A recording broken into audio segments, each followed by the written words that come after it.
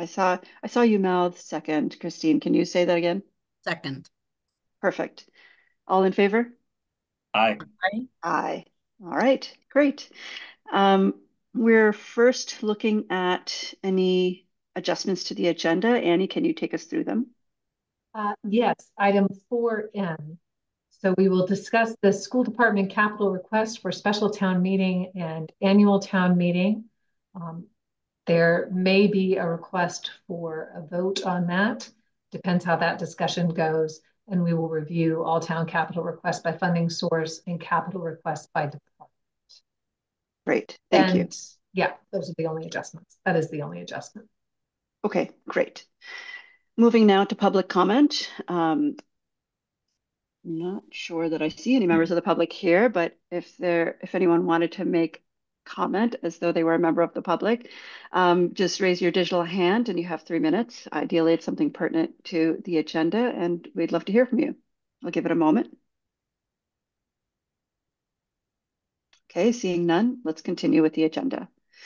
Um, first up, 4A is the Hadley Public Schools condition, uh, conditions of assistance. And here to tell us about that is, uh, let's see, I guess, Annie, you're going to tell us Yeah, well, actually, I'll be, I'll let you know why you're looking at it.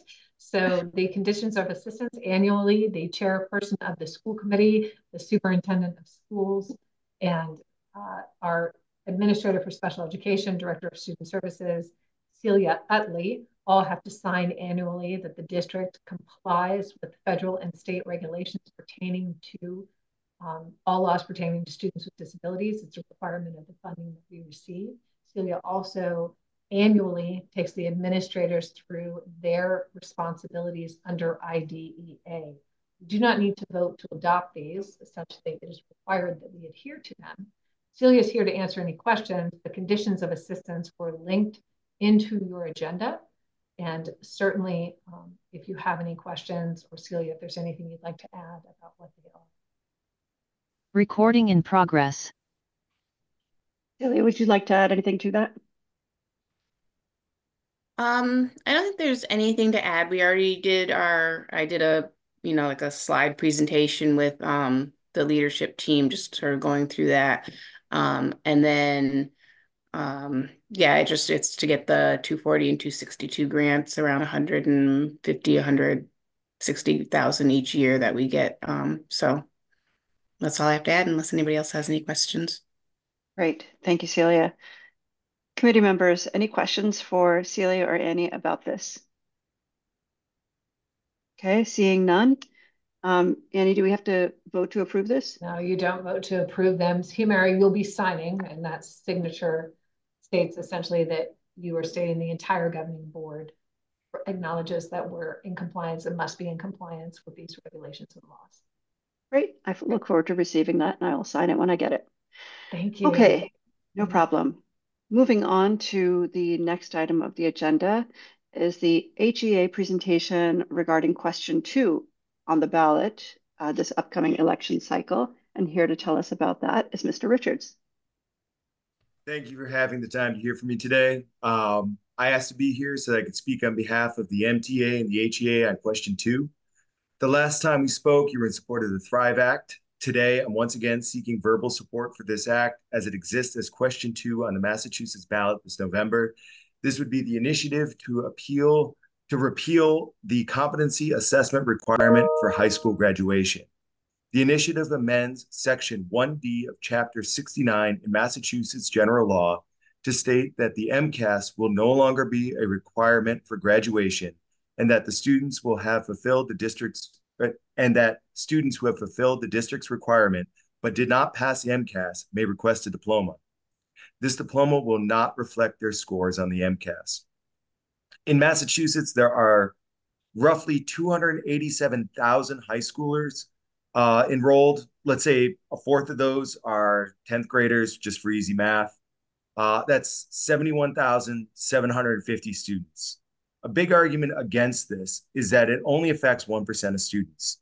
That'd be 717 students. In Massachusetts, there are about 400 high schools. So that means that we're talking about one or two students per high school that this would affect. Today, we have the ability to reach one or two students. Maybe all they need is to have this weight lifted to stand. It's hard to reach every student. I know. I teach every student at the elementary school. But when I have the chance to reach one, I do. And today we have that opportunity together. So I will ask you, please voice verbal support for this ballot question. Thank you. Thank you so much, Kenny. I appreciate you bringing this to our attention again. Um, school committee colleagues, you might recall that we did have a conversation about this. We were in unanimous agreement to support the Thrive Act. In particular, there was a strong vocal support for doing away with the MCAS for as a requirement for graduation and leaving it to um, schools to determine um, the best competency determinations toward graduation. And um, I would welcome um, that continued support for this question too. I'll start by saying uh, I do support this uh, this question on the ballot. I'm uh, glad that it's uh, that it's making its way to the ballot. Um, I welcome my colleagues to share their support or uh, thoughts or concerns.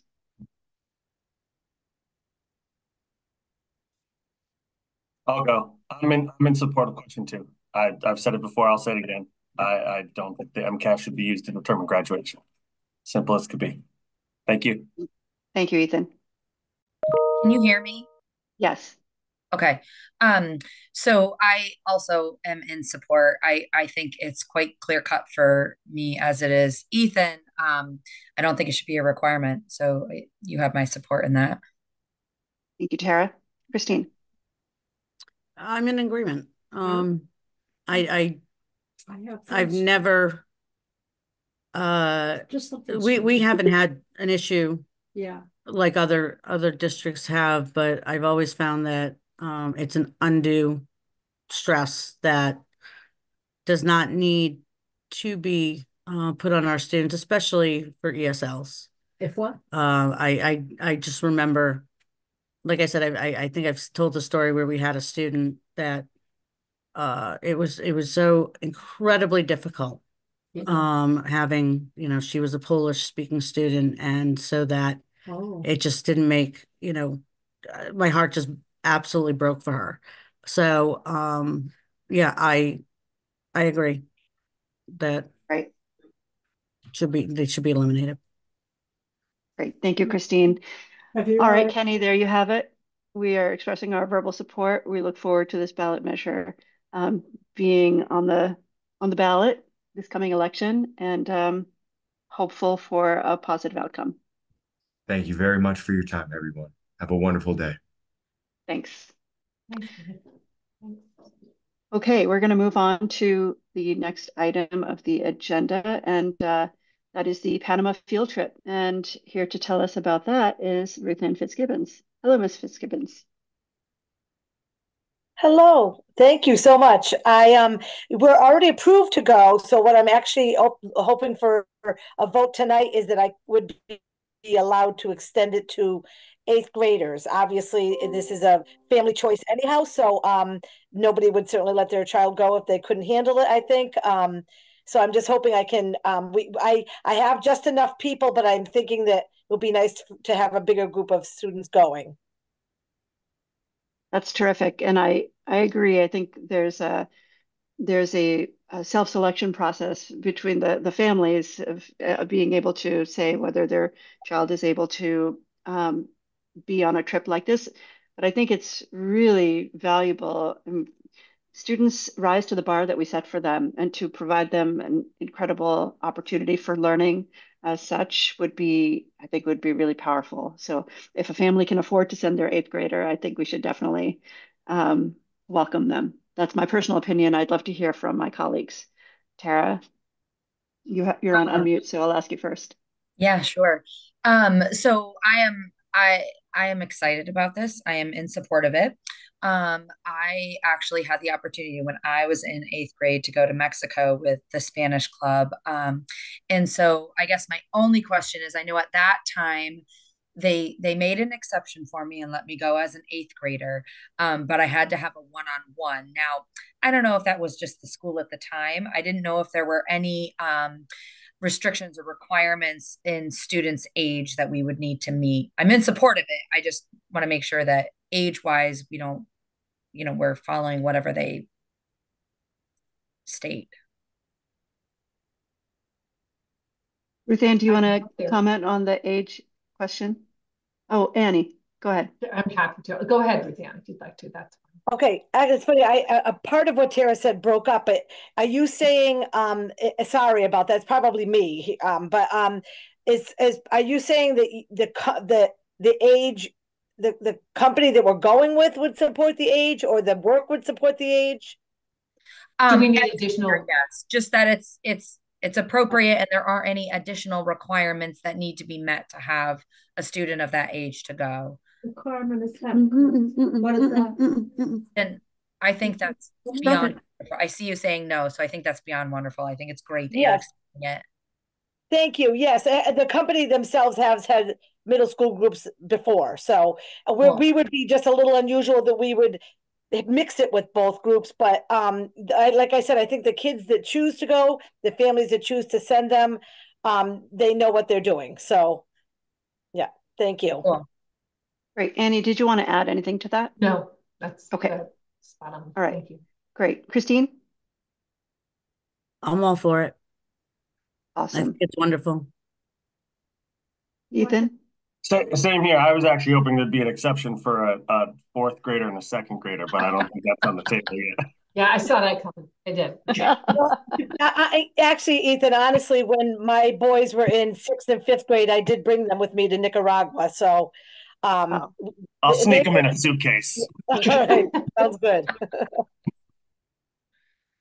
Terrific. Thank you so much for thinking about it and for making this opportunity available to our eighth graders, Ruthann. It's, uh, it's wonderful. Um, do I hear a motion to vote to uh, allow eighth graders on the Panama field trip? So moved? And a second? Second. All in favor? I Aye. Aye. All right, Thank- terrific. Motion thank you passes. so Thank you, much. Ruth Ann. Thank you. You're welcome. And I'm also, Okay. I'm also D on here too. Oh, you are terrific. Okay, so tell us about hosting students from Spain.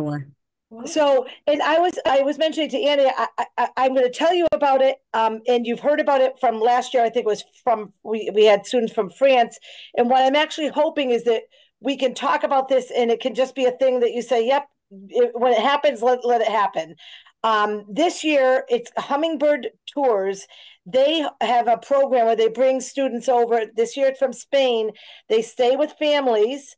Um, the families really just have to provide um, meals for them. They have all kinds of excursions. They have their own um, uh, their own spending money. Uh, they come to school three days with the kids. We did it with the kids from France last year. It was great. So I'm hoping that we can uh, once again invite our families to host students from Spain. Terrific. I, what a wonderful opportunity. And I, I don't know about the uh, case by case versus uh, all of them. Um, I'll talk with Annie about, you know, wh- which which model makes sense. But for now, let's uh, take this one specifically. Um, colleagues, how do you feel about uh, supporting another uh, group from Spain in the community? I'm in support of it. Thank you, Tara. I support it. Thanks, Christine. I support it as well. All right, Ethan. Terrific. Yeah, it's so, so great to hear that the hosting of the French students went well and that students really appreciated it and that we found the host families for that. That was my biggest concern was whether we had enough host families. So it's uh, it's really wonderful that we'll be hosting another group. I think it ri- enriches the the lives and experiences of our students. So I'm really excited to see this happen. Thank you. Thank you. Thank you very You, much. you each, you each said your support, but would you mind doing, was there a motion and a second to approve this? Did I miss that? Do I hear a motion to approve? So moved. All right, Second. thank you, Ethan. All in favor? Aye. Aye. Thank you so much. All right, it's official. Thank you. Great. Thank you. Thanks so much. Dan, good to see you Thank tonight. you, Ruth You too. All right, moving on to item E. Um, Annie, tell us about the acceptance of donations, school supplies from Walmart.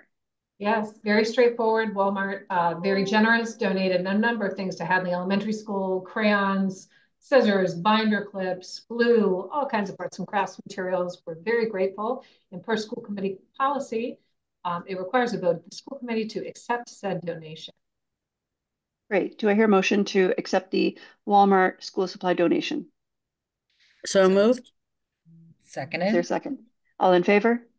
Aye. Aye. Very good. Thank you so much. And please extend our thanks to Walmart, Annie. Yes, we will. Thank you. All right, moving on to school safety. Um, Equiture, I don't know if I spin- pronounced that correctly. Equiture weapons. Equiture. Equiture. That's how say, Yeah. All right, Equiture weapons detection system. Yes, Intriguing. so Tell we did it. speak about this in the summertime. We applied for a grant at the uh, recommendation of Hadley Police, and we were selected to receive equipment, weapons detection equipment. The equipment that we will receive is no charge to the schools. There are no future charges to the schools. There are no future licensing fees for the school schools.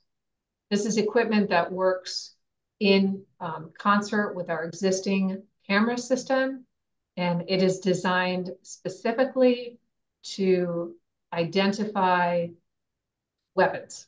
And then when it thinks, the camera thinks it has identified a weapon, it sends an alert to the people that we have identified. So there'd be a small group of people that would receive an alert, and that alert would be the image that this camera thinks is potentially a weapon, and also indicating precisely within the image what um, what it believes to be a weapon. The people who get, we determine who gets initial notification. That's something that we are talking with public safety about. Public safety says they'd like to have people who get that initial notification. That would be a small group of people. Anybody within that, when they see the image, the images come to one's email, laptop, and also to their cell phone as a text. As the system is designed, that anybody that's in that first notification group, if they look at that, or they also are able to see something and they say, yep, this needs to be escalated, there's something happening, they can hit escalation in the system, and then automatically a broader notification goes out to a second tier of people. State police are contacted, 911 is activated, a whole slew of things happen. So the system is designed in terms of school safety to assist schools in trying to prevent dangerous weapons from entering a school building, working with those cameras, so trying to prevent that from happening, and then reducing the amount of time that we certainly hope and do not expect that this is something that is, that is um, in our future, but it certainly does not uh, hurt in any way to be prepared. So by the system also assists with making sure that things move very quickly if someone believes that in fact there is a weapon on the premises. That's what it's designed to do. We'll speak in executive session in more detail about um, actual deployment, location of cameras, things of that nature. Um, but this was more of a general conversation just to make the community aware. Again, this is something that through notifications, and we also uh, spoke very briefly about one of our summer meetings that we'd applied for this grant at the uh, suggestion of the police. And we were fortunate in that we were selected to receive this. Great, Annie, thank you for explaining that. Um, I do have many questions, um, and I will ask them uh, momentarily. I'll first uh, allow my colleagues to chime in with their questions.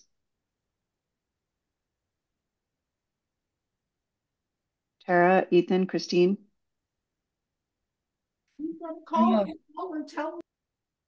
I don't know if I have any questions at the at the moment. Okay. I might later. Okay. Yeah, Hum- Humira, if you have questions, go ahead. I'm still kind of thinking through it, but by all means, if you have some, please go ahead. Okay, great. Um, questions that I have uh, are, and I'll start by saying I think it was after Parkland where we had a conversation about safety, and we, um, I remember suggesting, well, you know, in, uh, inner city schools are safest when it comes to guns because they have those gun, you know, metal detectors at the doors. Why don't we do that? And I remember it was like, wait a second. They, they looked at everybody looked at me like I had three heads that I was asking for that at that time. Um, so I personally am pleased with the initiative of detecting guns before they even go into a school. Question I have uh, uh they start with uh, you mentioned that there was no uh, cost upfront or ongoing. Um, and you also mentioned that it, it's subsidized by a grant. So I'd like to know, does the grant fund the initial part as well as all future? Who's funding the grant? What's in it for them? Uh, how many um, schools has this been installed in?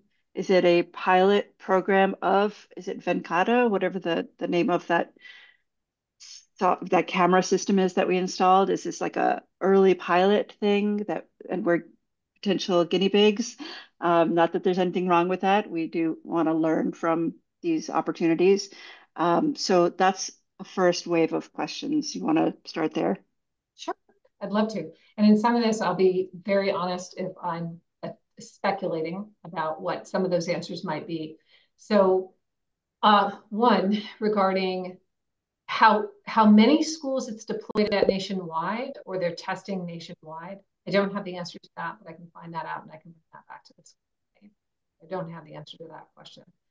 However, um, where we will not pay, so it's it's currently the funding, grant funding, but also I believe the company wants to make this investment. So how how would a camera figure out if something is a weapon? right? So it's no doubt using AI to make that determination. And what would be in it, now this I'm speculating, what would be in it for any company that is creating something that uses artificial intelligence in order to determine, is that what I think it is? So the more the system does it, the better it's going to get.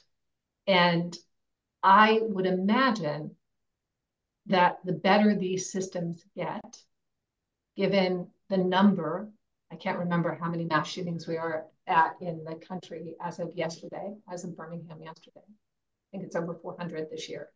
Um, that the market would probably be well beyond schools. I mean, in many ways, schools are quite safe. All the doors are locked. People have to be buzzed in. You need an ID. That is not true of a grocery store. Not true of most places you go. So there's nothing to say that the, that the company that's that is um, selling this product, has created this product in conjunction, in conjunction with others, I don't believe that they would limit their market to just schools, right? So weapons detection in other venues might be even equally important. Some might argue even more important because those venues are not um, I will say, so because it's using, and and when I say that we will never have future costs, we won't if we don't expand the system. So we were granted 12, and if we get 12 uh, cameras that work with our cameras. And so if we ever wanted to expand it, we would have to pay for that, for the prices at that time. If we expand licenses, we would have to pay for that. We're also given a server. The server is separate from the server that we use for Verkada. The two systems work well together. It's not the same system and it's not the same company. And that's because this information that's being fed into the system, I mean, we also, our school security cameras, those cameras don't keep that data forever, time period that we retain that data for unless it's necessary for something else. Whereas these images, these data would, I think the turnaround is, you're talking like 24 hours. I mean, it's it's gone very quickly because if you detect something, if you detect something that, and also there could be false positives, right? A machine could see something and think it's something that it isn't. Which is why you're first, it doesn't go, the machine sees something and then you set off an alert throughout the entire community. You have two levels, and in our first level of notification, public safety would be a part of that.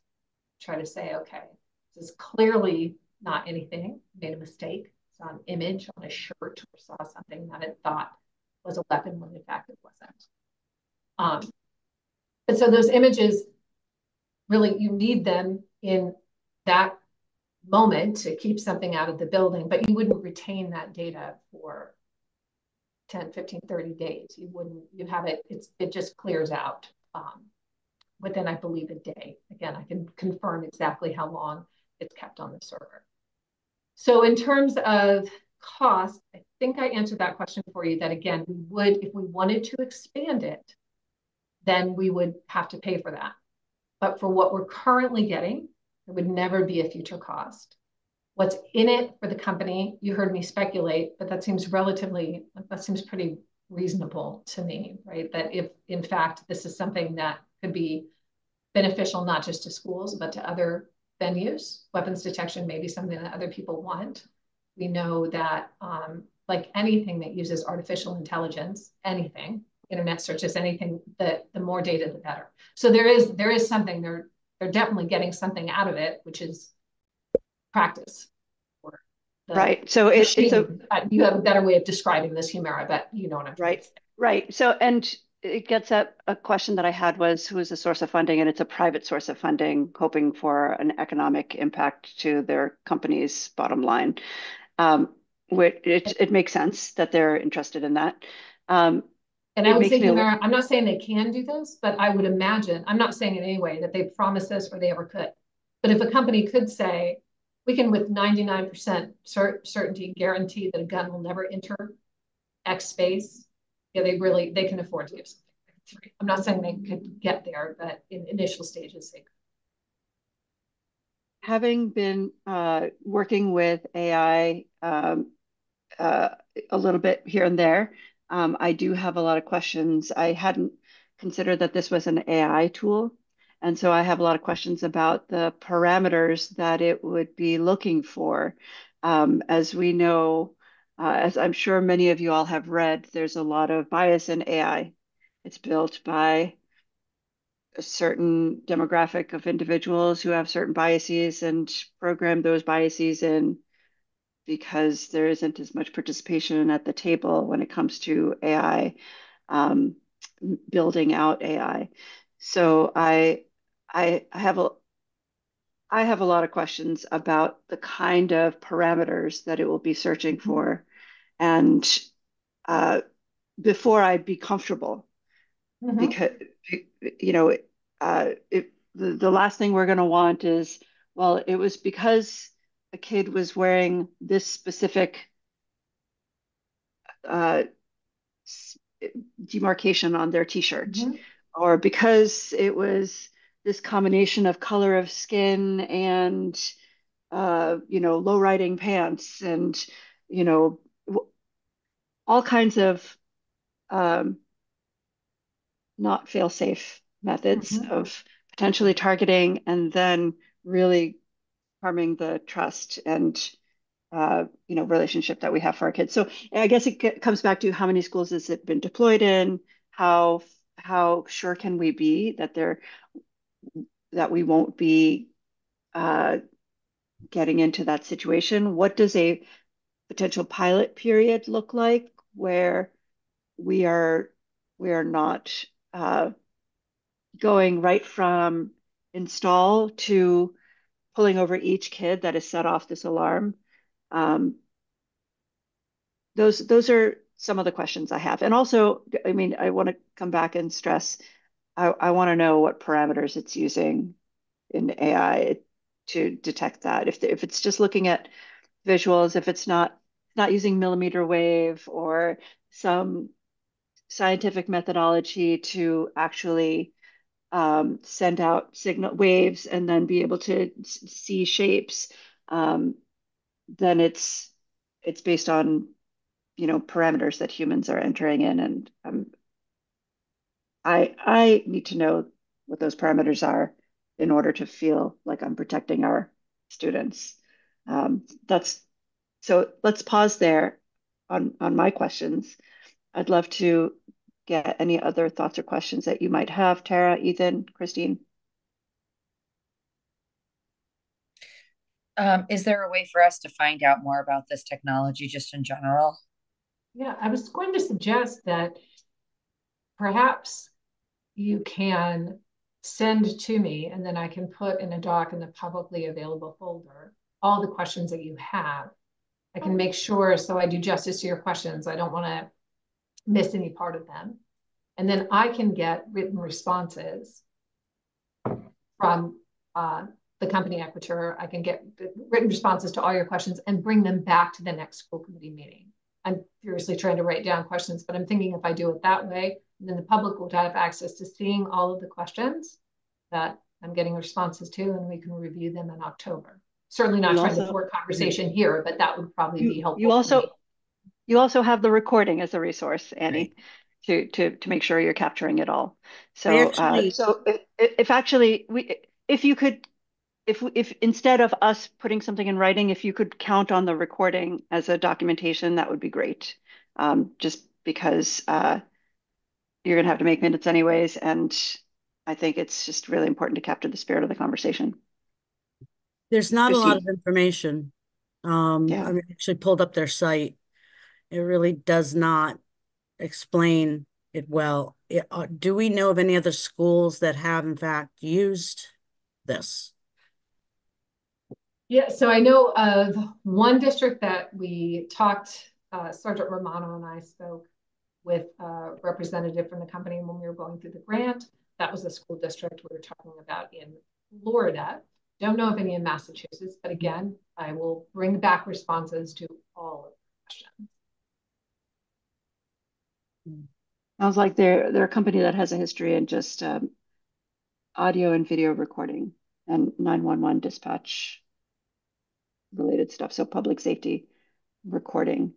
Um, but yeah, no mention of this technology on their website. Mm. And they also don't seem like a startup per se. They seem like a well-established company with a previous name um, of DSS Corp. Um, any other thoughts or questions, Tara or Ethan? Uh, I, I'll, I'll just say, I, I mean, I think a lot of the things that were running through my mind, you, you captured, Humira. Um, I love the idea of envisioning like a, a, a way to make our schools safer. Um, and I, and, and this certainly seems like a, a, a, a version of that. Um, but I do have a lot of questions of how they're detecting, what they're detecting, um, and, and just better understanding wh- what they're looking for, right? You talked about, you know, sending out the waves, but I'm just thinking about like, how is a camera detecting what's inside somebody's backpack, right? So that's the first thing that goes through my mind. Um, the other thing I just, you know, and this is more of like a, a logistical question is kind of like, where would these cameras be? Um, within the building, right? There's 12 camera licenses. Um, and so like where, you know, like just that's more something that comes to my mind, like where would we want these cameras to be? But that's obviously a little bit further down the road. Um, I think at this point it seems like a really cool idea, and that sounds like really basic, but like it's a great idea in theory, but I'd love to see it play out so that we can better understand what we'd be putting into our building and what kind of information those this company would be capturing and, and what to what benefit it would be to us. Yeah, I, really good points. I think I think I just need to understand more about it. So like as you were talking, Humira and asking these questions and your thoughts, it it started to get my mind rolling, but then it it starts to wonder, well, besides looking at this, what other data is it capturing beyond what its intended purpose is for? So I, I think in general, I just I think I feel like I need to understand more about the technology um in general. Yeah, and by the way, that former the former name is DSS Corp, and they they do Department of Defense related stuff, counter unmanned aerial systems and drones and other things that must fly over and detect whether a group of people at a wedding look fishy or not and should be targeted. Um, but anyways, we look forward to getting more answers, Annie. Thank you so much. And and yeah, um, and in terms of more detailed questions, Ethan? I'm not sure if you were on the committee when we went through our last. I don't think I was. I feel like that was one of the meetings I missed, so I probably. Right. And so, you know, that's the kind of thing we would do in executive session, obviously, because Right. of, you know, sensitive nature of those kinds Right. of uh, things. Um, great. All right. Thank you, Annie, for bringing this to our attention. Hey, sure thing. All right. Moving on to some policies. Um, Ethan, I think you're telling us about the policy IHGB. Yes. Uh, so this is our this is our first reading uh, as school committee. This is uh, the home schooling policy. Um, uh, not a huge amount of change here. Um, what we did is we just kind of synthesized um, the idea that uh, students could participate in after school extracurricular activities and leaving that as open as possible at this time. Um, that is the that the kind of big, uh, not even big, but the change that we made to the policy. All right. Very good. Christine, anything to add being on this committee?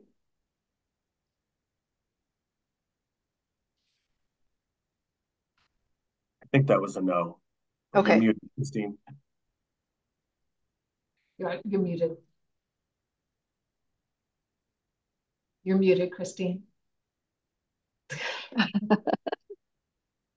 One of those days. Okay. So no, I think Ethan covered it. There was very little um that we had to clear up, but we made just a minor adjustment here or there. Okay. Very good. Tara, any questions on this? It is just first reading, so we'll bring it back next month. Next month. Okay. Very good. All right. Moving on to the next policy we're looking at is JFBB. Christine, tell us about that one. Okay, so the school choice um policy, other than a couple of grammatical type things that we changed, the biggest thing that we did change was we took out where it said the resident student uh students will be given priority placement in any classes or programs within the district.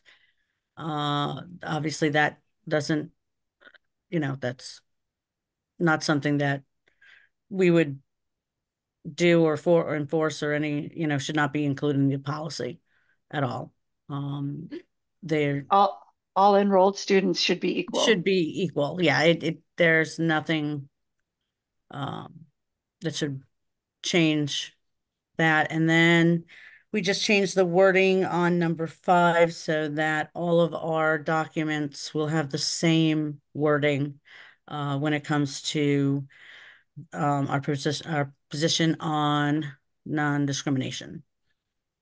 Terrific. Thank you. Uh, and this is second reading, so we would be looking for a vote, or is it, is, would the vote be at the next, remind me No, it's, it's, I'm requesting first and final because the attorney has said that number three is actually not even legal. So we just need to change policy. Okay, To your Very point, good. all enrolled students have to be treated equally. You Right. can't say some group gets this and another group doesn't. Yeah. All right. Um, do I hear a motion to approve the school choice policy JFBB as presented? So moved? there a second? And it, All in favor? Aye. Aye. All right, very good. Motion passes. Thank you. Okay, we are moving next to policy ACAB-R. Um, and Ethan is going to tell us about that. Yes, we uh this is we are eliminating this policy, uh sexual harassment definitions and procedure.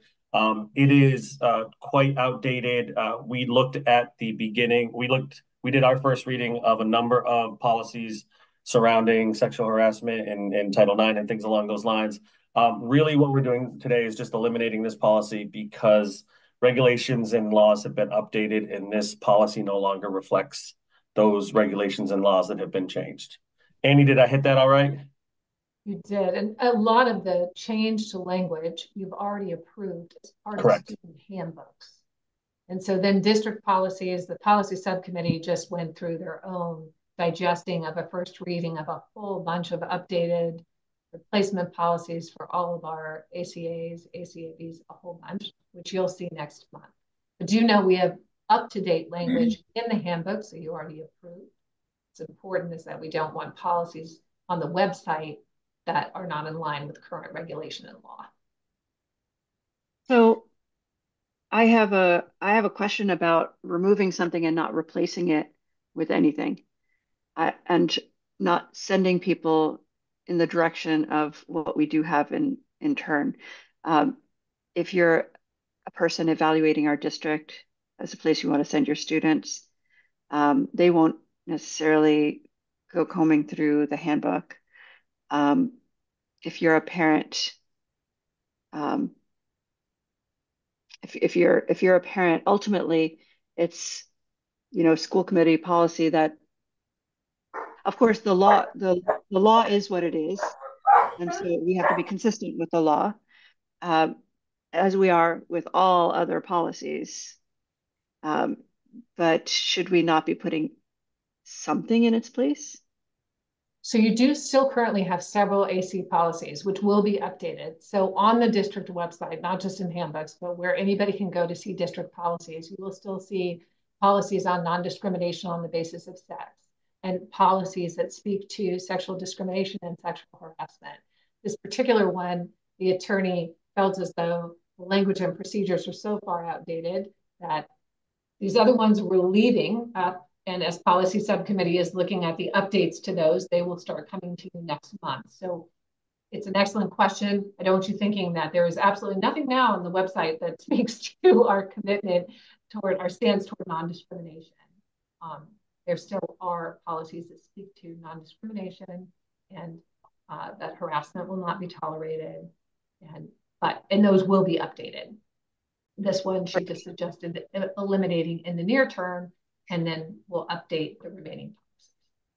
I wonder, uh, Ethan and Christine, is there anything in this policy, uh, aside from the outdated portion, that is to date and accurate, but not covered in any of the other ACAs? Not that I found. That it, it's it's really it's out of date and redundant. It really does is not um it, everything that we're updating is has a we have a policy in place and that we're working on the updates. This policy is um not necessary and then if anything would lead more to more confusion, I think, because it is not quite the you know it isn't quite as update as the other pol two policies that are up there. So it could actually be a bigger problem if it remains. Okay, Ethan, any other comments to add to I that? would just, I would, yeah, I mean, I think that was great, Christine. I think I would just add also to, to Annie's point that the, the, I know it's not the, the necessarily the policy, but the, the fact that the handbooks have been updated to reflect up to date laws and regulations. I don't know if having that plus this in the same space necessarily get, gives a, an any clearer picture to, to kind of the point that you're making, Humira, which I think is a valid one. Like, you know, like what about not having anything in there? But if we have those uh, those policies in the handbook that that are up to date, I think that provides a little bit more guidance in this this space of a month if there is if there were to be any questions about it. I have a question. Yes, Tara. Um, so generally what we have for policies don't differ very greatly from other districts in the state. Um, we all have something that at least um, kind of resonates in some form. Um, in a lot of ways, um, can be very, very similar. So, if this is something that you know was looked at by our attorney, um, what do other districts have in place? Um, because I understand the redundancy in it and maybe outdated language in it. Um, but you know, are other schools just completely eliminating it as well, or are they adding something in its place, even if it's something that reflects and further um, further um, supports what's already in our handbooks? Um, So, so the answer is yes, Kim sends out to all of the, I mean, as you know, many school districts use the exact same counsel. Sent it Yeah. out to everybody. But use this, this, and this, get rid of this. If you go on MASC's website, I don't believe such a policy called AS, ACABR even exists. So, um, and also you'll notice that in this existing policy, it has very specific procedures for how one is to respond in terms of doing an investigation. And they actually don't match what is in our handbook, what's required by law, mm-hmm. and what we're expected to do. So to Ethan and Christine's point, it creates massive confusion, like which one of these are you doing? So when I get rid of the one that we're not to be doing, follow what's in the handbook. And no, MASC does not have an ACAB art that I can find anywhere. The attorney for multiple school districts said, get rid of that. I Even double checked, really, just get rid of it, get rid of that. And the policy subcommittee has all the policies, the recommended replacement policies, and they went through um, first reading of those this evening. Okay. Um, I, uh, hearing your support for this and the fact that we're covered, we're not, by eliminating this, we're not eliminating something that is not presently covered by our policies, not necessarily our handbook. Everything that are, is in our handbook should be in our policies. Uh, but that what we're eliminating is not going to leave a loophole. Um, I would be in support of eliminating it, um, in light of that. Tara? Yeah, I look forward to seeing the updated ones too. And I think that'll further help us kind of look at this and understand that we're covered and there are no using your language loopholes. Yes. Um, I noticed that MASC does have an ACAB, Correct. not a dash R. Do we have that ACAB in place? Uh, yes, we have an ACAB and that the policy subcommittee read tonight for the first time all of the recommended revisions to that. We have an existing ACAB. It is still on our webpage uh, under district policies and the policy subcommittee will be presenting for first reading next month ACAB, sexual and sex-based harassment and retaliation. Okay, very good. All right, do I hear a motion to approve the elimination of ACAB dash R? So moved? Is there a second? Seconded. All in, all in favor? Aye. Aye. All right, very good. Thank you, Policy Committee. Uh, moving on to the Hartsbrook annual approval, Annie. Yes, as the name uh, implies, every year. So I visited Hartsbrook. They submitted all of their documentation. You can see what I am expected to review while I'm there. And uh, I reviewed all of their documents. I was on site. I checked those things that one has to visually ensure, and they have done everything they're required to do. So I recommend that the school committee vote to approve Hartsbrook.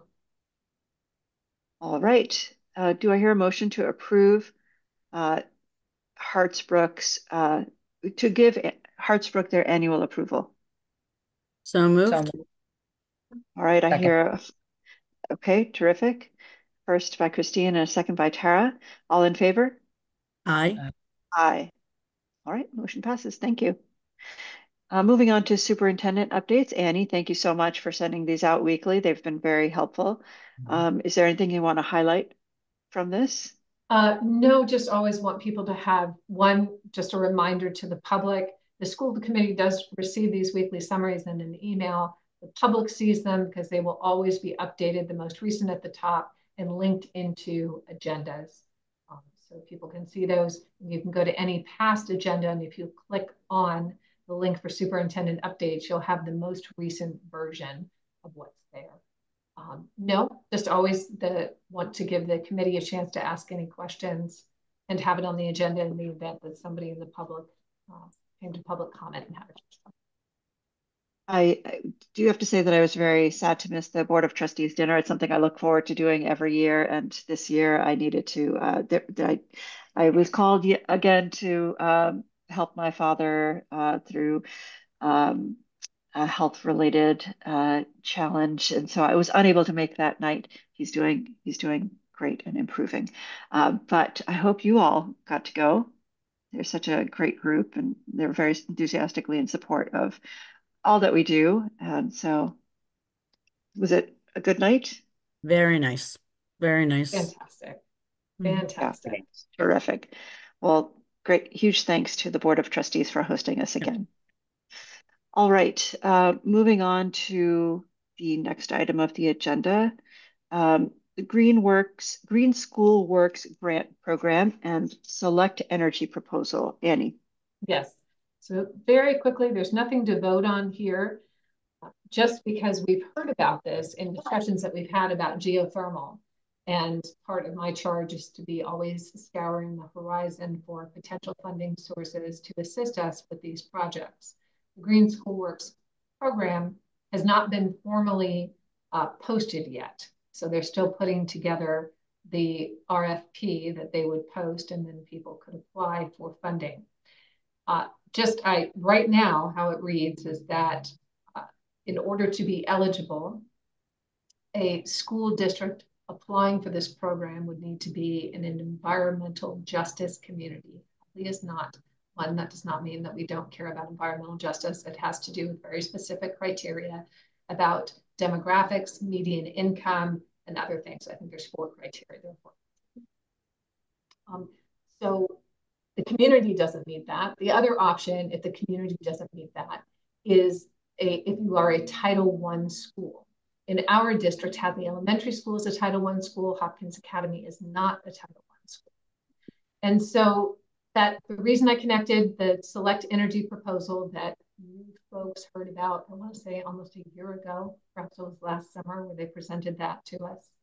Um, so this, if they write this RFP the way they're currently describing it, Hopkins Academy would not be eligible because Hadley does not meet the community criteria. And the other option is to be a Title I school. Hopkins Academy is not a Title I school. However, if we thought that it made sense to explore the possibility of a solar project at Hadley Elementary School. Hadley Elementary School, if they don't change the criteria, might very well meet the criteria. And certainly a solar project at Hadley Elementary could help with any increased energy costs we may see should the school committee vote to move forward with the energy conservation measure of geothermal. There's nothing to do at this point. I just wanted to keep the public and the school committee posted. So we will keep our eyes on this funding opportunity. We'll keep you apprised of what the requirements are. And I just wanted to, as we continue our conversations about energy conversa cons conservation measures and our overarching strategy, um, that certainly perhaps there is a role that Hadley Elementary could potentially play in a project at Hopkins Academy. That's all I have for that. Thank you, Annie. Really glad that you have found this opportunity and whatever we can do to be helpful to them in all that we've learned about building envelopes and energy efficiency. And um, it's a great uh, opportunity to uh, network with them, I would say, uh, in the event that uh, that could help uh, them know more about us and want to fund a solar initiative at Hadley Elementary School, I think that would be uh, a, a really great thing to bring in funding that would help us offset the cost of doing that, having more options. Um, so thank you for looking into that. I will say that the Solect um, canopies that are at Stonehill College um, for the it's above the student parking um, is a fantastic, a fantastic addition. It it's it's very impressive. So I was just I have not. I'm gonna I'm gonna Google that and uh, and try to find them. Thank you so much for that tip.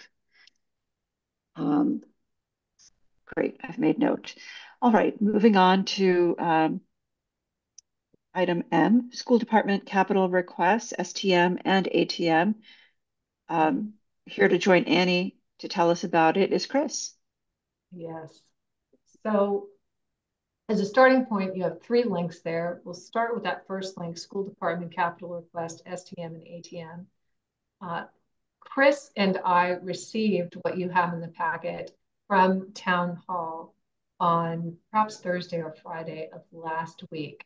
We uh, were fortunate enough to be able to meet with the interim or acting town administrator, who's also Chief Mason, the police chief, and Linda Sanderson, the treasurer, treasurer, so they could walk us through what they're recommending to the capital committee. Ultimately, the town's capital committee that will have a meeting tomorrow at two o'clock, and I believe Christine Pipchinsky mm-hmm. intends on attending that meeting. Um, they ultimately will make their own votes and recommendation. But what you see here is what the treasurer is recommending at this point in time, and the um, town administrator and the chief of police. And you'll see that a number of the, the majority of the school items are listed under debt exclusion. And you'll also see in the notes that at this point in time, the recommendation is that there would be no debt exclusion articles at special town meeting, which is now scheduled for November, help me, 14th, I believe. Is that right? Did I just make that up? Okay, I'm right. November 14th. Special town meeting is now scheduled for November 14th. They would not do debt exclusion borrowing articles. Those would happen at annual town meeting. If that is the case, then you can assume that everything that's under debt exclusion would happen if uh, capital committee and select board and others agreed would happen at annual town meeting in May. Because their debt exclusion, they would then require a ballot vote uh, within, I can't remember, 30, 60, 90 days. Jessica Spanknagel knows, but then folks would have to go to the ballot. So it's a two-part process to pass first on town meeting floor, and then secondly, it would go to the ballot. What they have for the school department that could potentially be a special town meeting is just over $12,000. And that is money that would help us make some minor adjustments and improvements to uh, fix some of the issues we have in our ADA compliant uh, bathrooms at Hopkins Academy. What you also see here is um, the second bullet, Hmm. MI, is all town capital requests by funding source for fiscal year 25. That just gives you an idea of the recommendations in terms of every department's capital requests, which ones are being recommended for reserves cash budget, which ones are being recommended for debt exclusion, etc. And the final thing you have are the capital requests by department going out about 10 years. I'm extremely grateful that Linda provided us all this information. It's very thorough because if you recall at your last meeting, part of the discussion you all had and something Paul brought up was, boy, it would really be helpful to kind of know all the pieces. What is the town looking at in any particular fiscal year in terms of capital? What Chris Desjardins and I discussed, and we discussed this with Linda and the chief, is that we thought perhaps that it would make sense since all of those articles at the top, if nothing changes, would not be, they would not be in this special town meeting warrant. It would not be discussed until May. Our thinking is that perhaps what we want to do is that Chris Desjardins, Chris Pip, the capital liaison, and I, as a starting point, and bring all this back to the school committee, would look at various, all the capital items that we have and this was a suggestion even of Linda's, is to try to organize them as like a school construction article in a given year. So not to be so particular, which also gives us some freedom if a town votes for for us to have funding. If something changes, a school construction article gives us a little bit more freedom than let's vote on painting. Then all we're doing is painting, right? And that we would cluster construction articles together and spread them out over a 10-year capital plan, and we would cluster them in a way that made sense. So for example, we might suggest a criteria could be start with safety, followed by or on par with accessibility, so safety and accessibility, followed by aesthetic. Not that aesthetics don't matter, but that's an example of a criteria. I'm not imposing one. I would say the school committee would decide what that criteria is. But we could start out and say, here's our thinking. Now push back. What would you like to see changed? Um, and why am I recommending all of this? I just think it makes sense for all of us together to be clear about we're asking for these things or this particular item now because this is the criteria that we applied to it. Um, because keep in mind, if we're talking debt exclusion, the town has to vote to borrow every single time. And I think, I think taking into consideration the information we have now of what other departments are looking for and being really clear about why do we think we need this thing right now? I think that it'll be important for us to have a clear criteria, be on the same page, and have a compelling argument. Um, because debt exclusion is we're asking a lot of the town to do that. Thank you, Annie. Um, appreciate you taking us through that and um, being judicious about when we make the asks for what items. Um, and I fully support your uh, analysis. I welcome other questions and comments from the team No? as well. Christine? No, I'm all, I'm I'm still sort of looking through this. Okay. At the moment. right, sorry. I'm I'm taking unmuting as a signal of of having something to say, but that's okay. Uh, Tara and Ethan?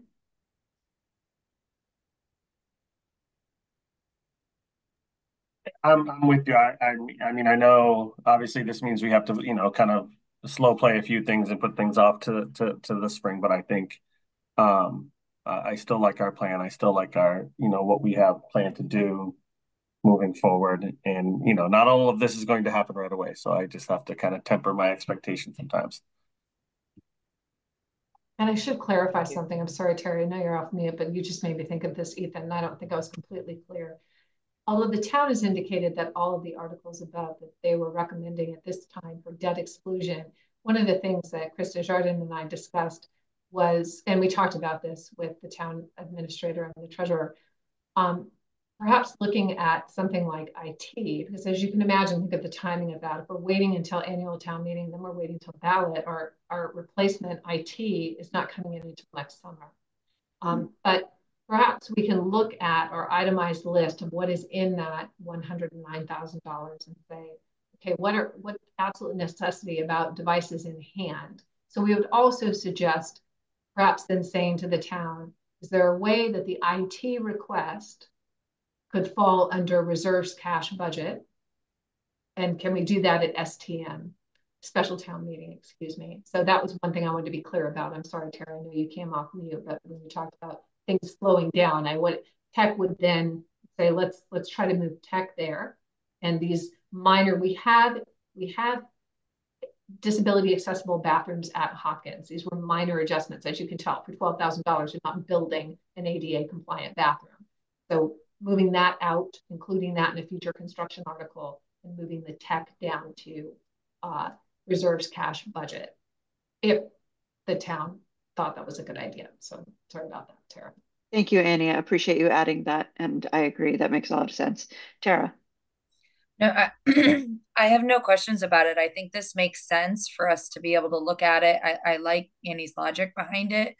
Um, and I think it allows for a little bit more flexibility. And if something comes up a little more urgently or things need to be moved around, it allows flexibility. And I think it's another way that um, we're working with the town on things when you look at fire and and safety and whatnot. Um, this allows us to, even though the town always knows we work with them. We are somewhat of a little bit more of a separate entity, and this kind of um, brings us a little closer in. And I think that just helps for them to understand where we're at too. So I, I think this makes good sense. Yeah. Christine, any final thoughts? No, I agree with everyone um, with what they've been saying. Um, so I think, yeah, just go ahead with what we're with what Annie and Chris suggest. Great. Very good. All right, Annie, do you need a, a vote on this? I had a vote there, but I don't think I do. So you guys all know what we're going to try to do, and because I don't have a Yes. formal vote for you, I don't. So Okay. All right, terrific. Thank you. Bring it back to us when you have a vote if you need a vote. All right, moving on to the uh, item N, Business Manager Report. Chris? Okay, so I have two reports for you tonight. Uh, the first is the uh, budget expense report. Um, you know, it's still early in the year, so there's there's really not, you know, a heck of a lot going on. A lot of salaries just had um, one or two payrolls at this point in time. Um, there are some lines that are at this point in time over budget, which might surprise you if you're looking at it. You know, how on earth could we be over budget? Um, and what uh, the majority of these are um, something like special ed transportation, for example, shows zero budgeted, yet there's two hundred thousand dollars encumbered. Um, and what we actually uh, did was, you know, we we budgeted for the 240 sped grant to pay for transportation and some circuit breaker funds. Um, but we haven't gotten the grants yet, so we kind of just put it into the general fund. And once those grants are approved, we can transfer the expenses over. So um, there were a number of accounts like that actually that, you know, it's it's kind of just a a parking place right now for the uh, purchase orders until we actually get the grants approved, and then we'll move them over. I don't know if anybody had any particular questions about any, um, you know, lines on the report. I can certainly answer those if you have any. I'm seeing, uh, I'm saying shaking heads, so no, I think there are no questions on this. Um, we can move on to the next report. Sure. Okay, that's the revolving account report. Um, some of the accounts we haven't, uh, like for example, lunch. We still haven't received the June revenues. So Kelly is actually reaching out to the state asking where those June revenues are. Um, haven't heard back yet, so uh, I'm not really sure what's going on with that. I did check with her, and she said she did submit for them, so it must just be, uh, you know, kind of a, one of those things that the payment is just arriving very late. So uh, once that is that that June 30th number might get bumped up. It might actually get bumped up into a later month because once the year gets closed, uh, which is coming up soon, they can't really add that deposit to June anymore. So, um, you know, the lunch account will will increase. Uh, preschool revolving. This is a funky time of year, really, for um, things like revolving accounts and and grants that have a carryover from a prior year, and that is that the town hasn't quite closed out the FY twenty-four books yet, but yet we are um, already, you know, uh, three months into FY twenty-five. So um, we end up getting things like balances haven't been rolled over yet um, into the next year, or um, you know, in, in some cases, um, revenues haven't been posted. You know, they they um, they received the revenues. We've received some, just haven't been posted yet. So until they are, I can't include them on the report. Again, once they are, I'll go back right to July and and, and adjust, you know, if that's when the revenues were received, uh, and you'll get a more up-to-date report. Great. That was my only question on this report was how can we run a preschool on $941.51? Uh, but you've answered it, uh, which is that there's money uh, both in carryover balance and revenue. It's just not uh, the books having not been closed out. It, it's not reflected here. Right. Yeah. So once we get them posted, then we can add them in. Very good. Uh, colleagues, any other questions on the revolving accounts? Okay, great. Thank you, Chris. Welcome. And uh, anything to say about the geothermal project updates? Sorry, I muted. Um, well, uh, there's um, I forgot the, the God, the designer's name um, slipped my mind. C H I. I just don't remember now. Um. CHA. Oh, oh, I got two out of three. Okay. um, so CHA is coming out this Friday to do another walkthrough. Um, in reviewing their plans, they determined that some of our ceilings might have to be lowered in the hallways, um, which actually, and, and this is why we've done this, it fits perfectly um, and really makes us look pretty smart. So I, I, appreciated that by them in that we held off on the capital plan ceiling tile replacement until this geothermal work was done because we we would hate to put new ceiling tiles in and then find out we have to move you know the height or, or try to squeeze ducts into a small space so uh, they're coming to look at it on friday just to determine what areas this will have to happen and that will help us out tremendously with the ceiling tile planning so um, we have that. Um, trying to think. Oh, we we did. Um, Anne and I um, took part in a call with MSBA last week on um, some potential geothermal projects that um, HES was selected as one of the schools. we were pretty confused because we spoke with the director of MSBA about Hopkins, and then we get an email about HES. We did ask them, are you sure you're talking about the right building? And, and they said, yes, they are.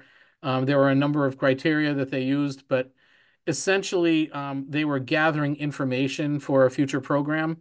Um, they uh, took great pains to make sure that we did not think because they were talking to us, that meant that we were going to be awarded anything. Um, and so really what they're doing is gathering data from what they consider to be kind of a typical small town elementary school, both in size, age, etc. And, um, you know, they're asking for the building plans, electric bills, oil bills, um, items like that. And uh, so we are supplying them with all of this information, and then they're just going to uh, enter it in their database and, and make some determinations there. But um, so that it was uh, it was exciting at first, and then slightly less exciting when when we found out it was the wrong building. But that's okay. We're we're willing to work with them.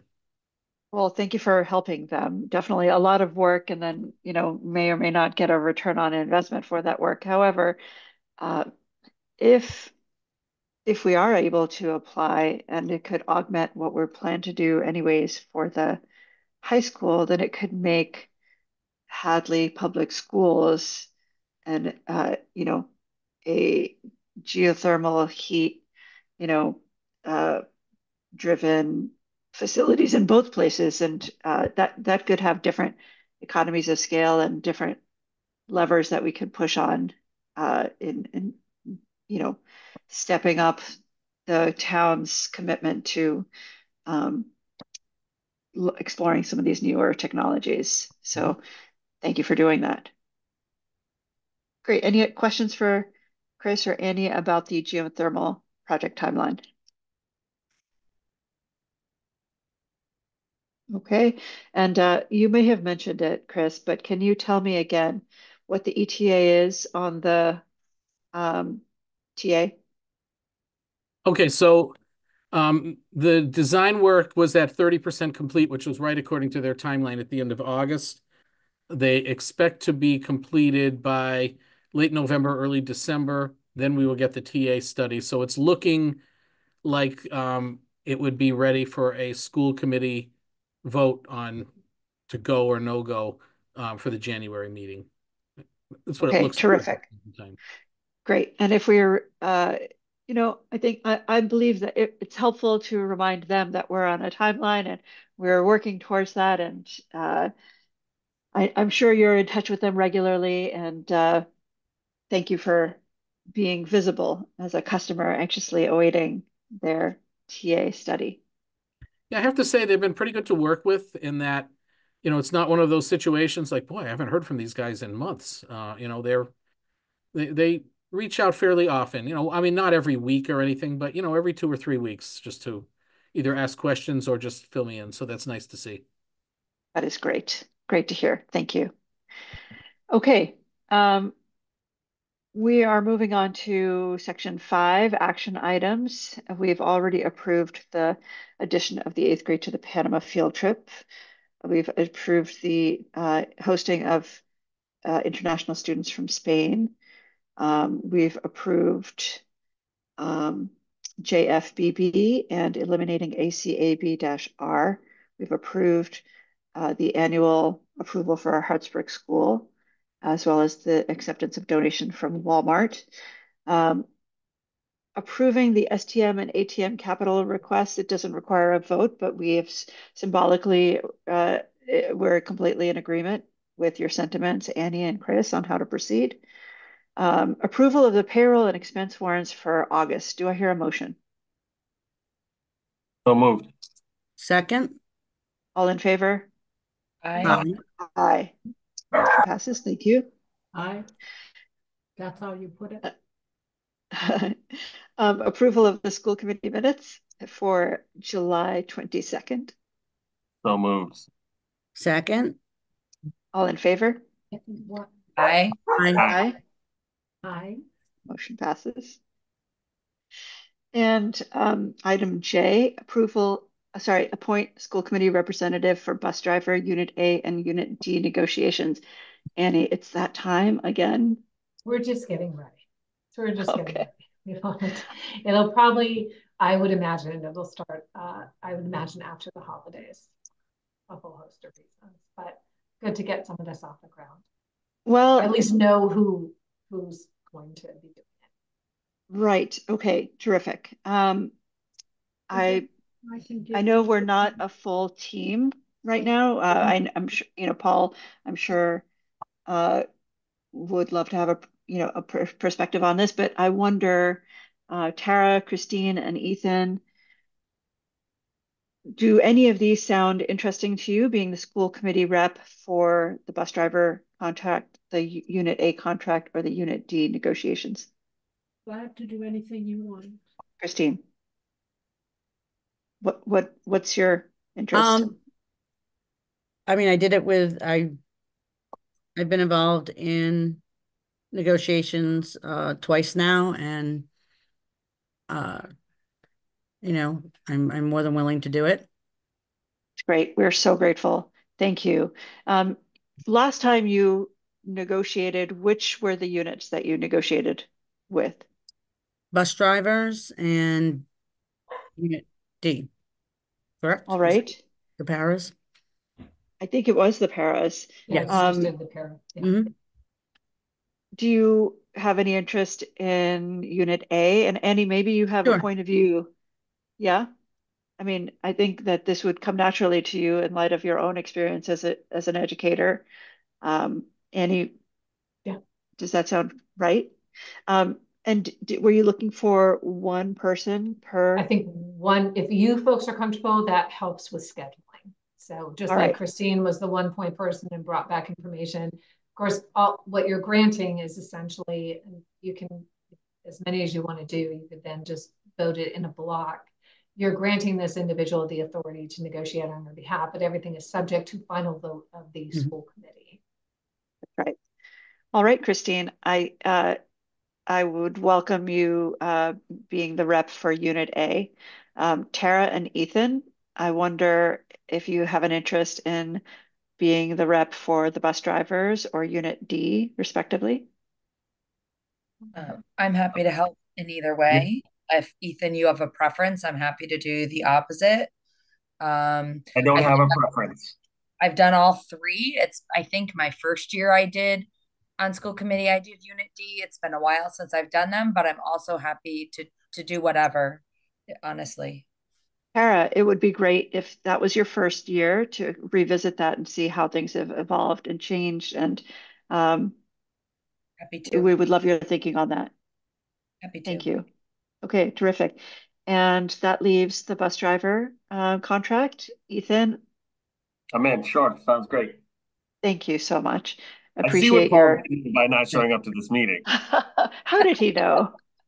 And, and honestly, if it becomes an issue where somebody can't do it, obviously, um, I'm available more during the day than, you know, you guys are. Thank you, Um, and you want me to take it, I will. That's not a problem. Thank you, Christine. That's very generous. I really appreciate that offer. All right, we're Um, going to move. I think this might be helpful. I'm going to assume maybe this is helpful. So I have listed Christine, uh, Unit A, Tara, Unit D, Ethan, bus drivers. And does it sound like it makes sense? And Christine is a potential alternate if someone's not Yes. available. Might be helpful Yes. to do that now. Yes, Or definitely. any and all. So Christine Pip for alternate for all. Yes. Thank you, Christine. Oh, you're welcome. Do we need to vote on that?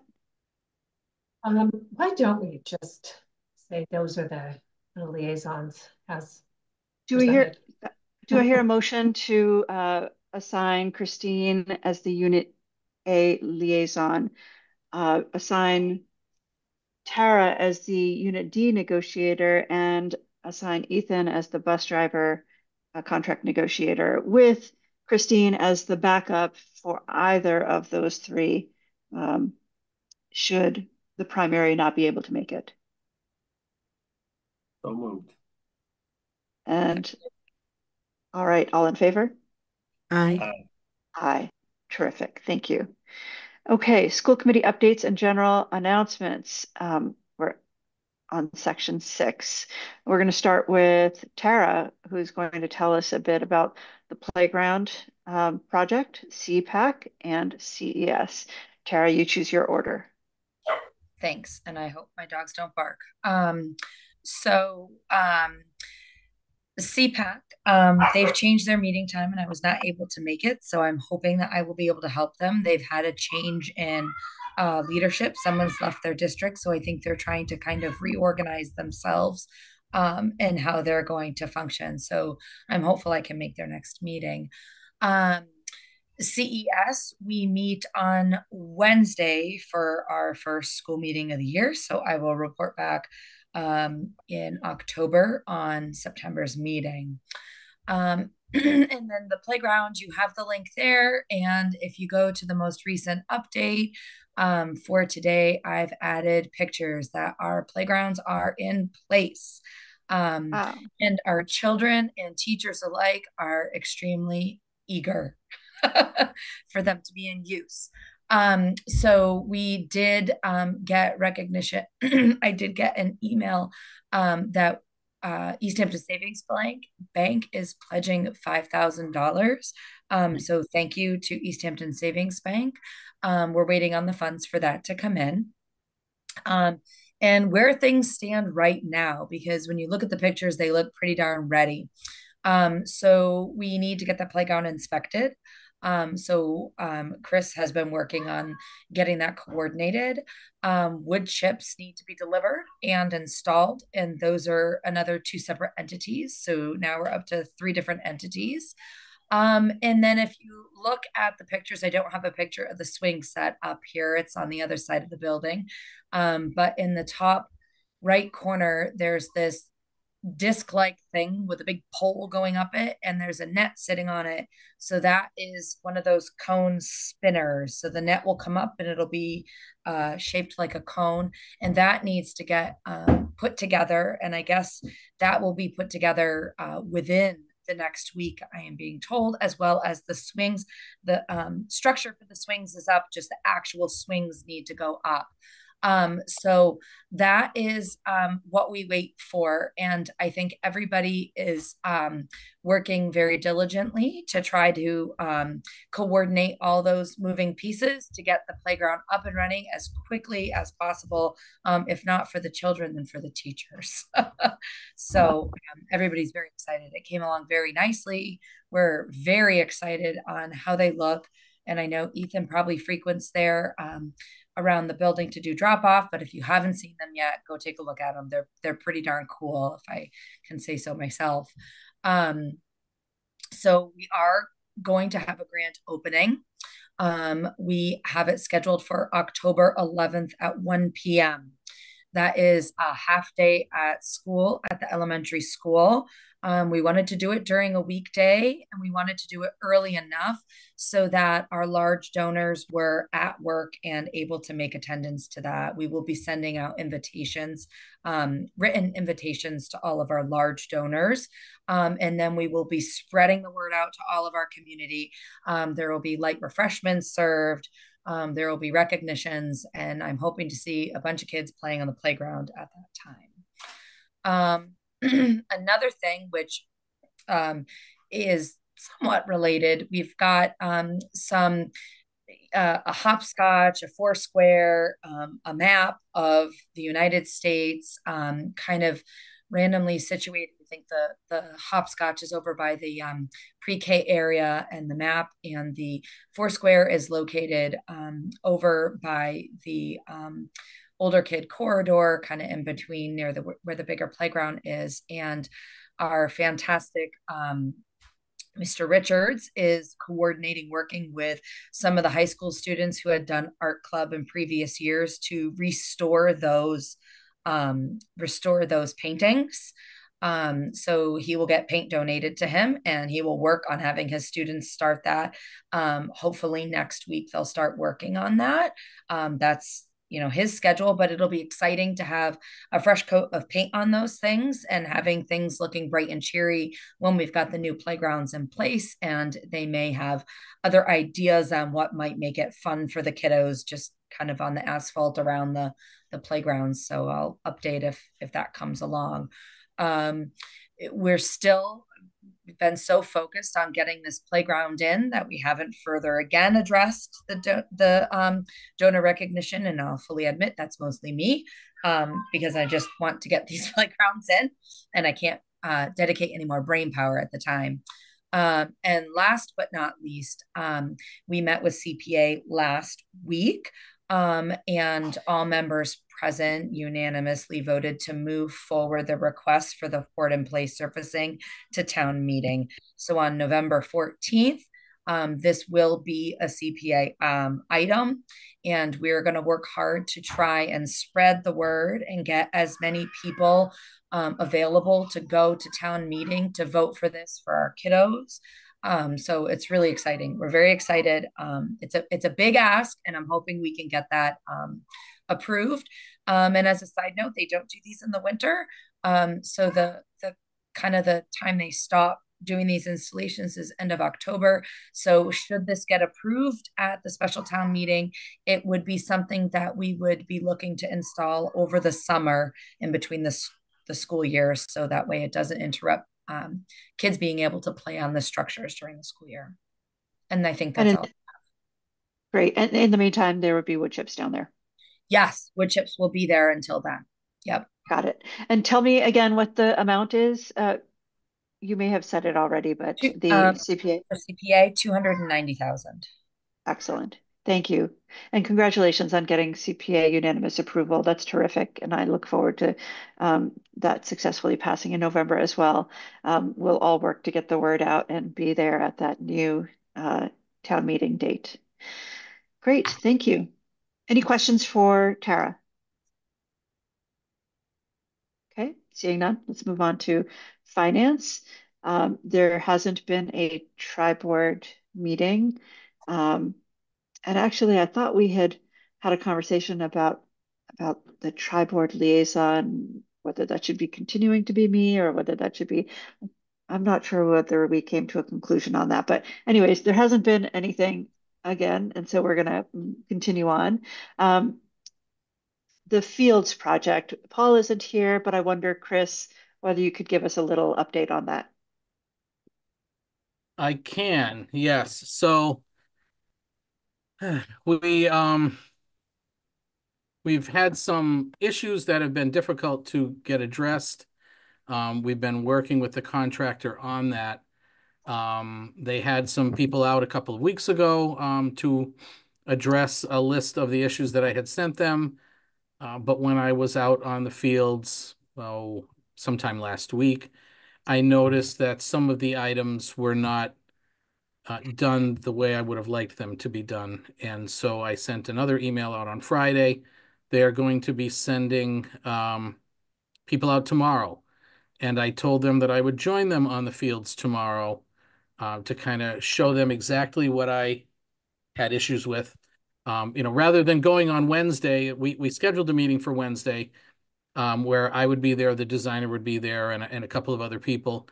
But I just thought, what if they still don't do it the way, you know, we're expecting it? We wasted another day, you know. So if I just go there on Tuesday, tomorrow, and kind of walk them through it, hopefully they'll be fixed, you know, to the way we need it done, and uh, then we can go on.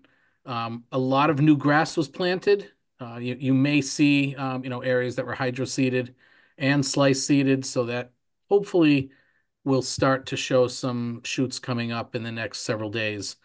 Uh, you know, we've had decent weather for it, um, no rain, but those sprinklers are running um, quite often to keep it hydrated. And, uh, you know, at least it's been the cool nights and the warm days really that are kind of required for grass to grow. Uh, and so I'm hoping at this point we can pretty much wrap it up this week. But again, you know, until we're we're satisfied with it, we can't just you know sign off on it. Chris, thank you so much for taking that approach. It would be really easy to be like, okay, well, we got it, you know, good enough. And, uh, you know, this is not an easy project. And thank you for just making sure that it's done right um, and holding our partners accountable. Uh, appreciate that. You're welcome. Any que any questions for Chris? Okay, great. Let's move on to uh, policy. Uh, Ethan and Christine, you already shared with us uh, a whole bunch of things. Is there anything else to give us an update about uh, around No, the I- horizon? Yeah, I mean, I guess we kind of got into it a little bit, but we kind of took the first glance at a lot of the non-discrimination and sexual harassment uh, policies uh, that that we need to kind of revise based on on on our um on our lawyers. So I think we'll we'll we'll continue to look at those, and as as Annie shared with us in the policy subcommittee meeting, it's it's policy season, so it looks like we're going to be looking at a lot of uh, policies coming up. All right, great. Sounds like fun. Okay, moving on to um, item F, general announcements. Um, Annie, do you want to share this one? Uh, so this is usually, um, David, is uh, an opportunity for David Phil if uh, That's right. the town side. That's right. And so uh, when David is at our meeting, we'll give him the opportunity to share with us uh, a little bit about the uh, what's going on on the select board. Okay, um, we're moving next to item seven. Um, and the chair will entertain a motion to enter into executive session to discuss strategy with respect to litigation and to discuss the deployment of security personnel or devices or strategies with respect thereto, and not to reconvene in open session. If an open meeting may have a detrimental effect on the bargaining or litigation position of the public body and the chair so declares, then we will go into executive session. So, uh, would anyone like to for, support that motion? So moved. Seconded. All in favor? Or Aye. does this need to be a roll call vote, Annie? Okay, Christine, Aye. Tara, Aye. Ethan, Aye. Humira, aye. All right, motion passes. Thank you, everyone, for attending tonight, and uh, we will um,